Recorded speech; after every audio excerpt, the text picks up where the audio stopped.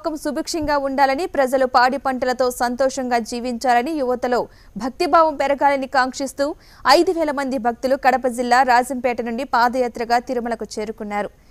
ఏడు మంది భక్తులతో దాదాపు ఇరవై ఐదు సంవత్సరాల ముందు ప్రారంభమైన ఈ భక్త బృందం పాదయాత్ర నేడు వేల సంఖ్యకి చేరుకుంది. స్వగ్రామం నుండి వారం క్రితం నడక ప్రారంభించి అన్నమయ్య మార్గం గుండా భక్త బృందం తిరుమల కొండకు చేరుకుని శ్రీవారిని దర్శించుకుని మొక్కులు చెల్లించారు. Música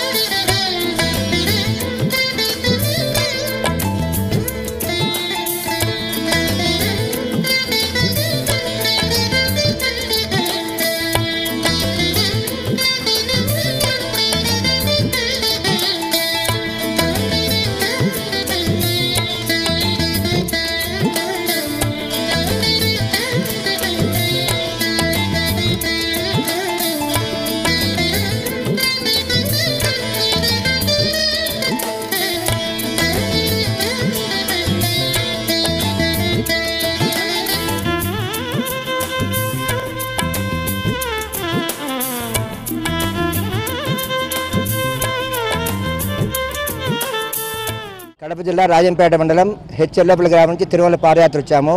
ఇది ఇరవై ఐదో తిరుమల మహాపాదయాత్ర సిల్వర్ జూబ్లీ ఇయర్. పంతొమ్మిది వందల తొంభై మూడు సంవత్సరంలో ఏడు మందితో ప్రారంభమైంది.